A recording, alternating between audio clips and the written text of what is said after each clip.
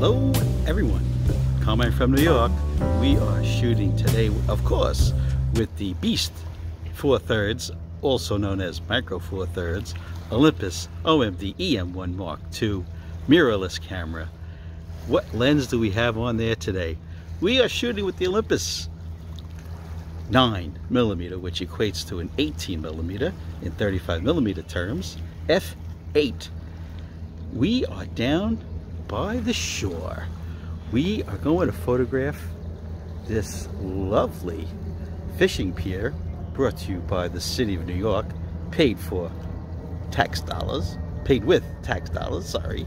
And we're going to see exactly what this Olympus 9 millimeter fisheye lens can do down by the shore.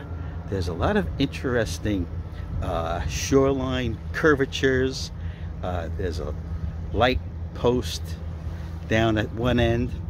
We have a fishing pier at this end. And we have some uh, wood, that driftwood that comes up on shore. We'll see. We will see right now what photographs I took today with the Olympus OMD EM1 Mark II camera and the incredible short almost non-existent. Camera body cap. Olympus 9mm f8 lens. Let's take a look at those photographs right now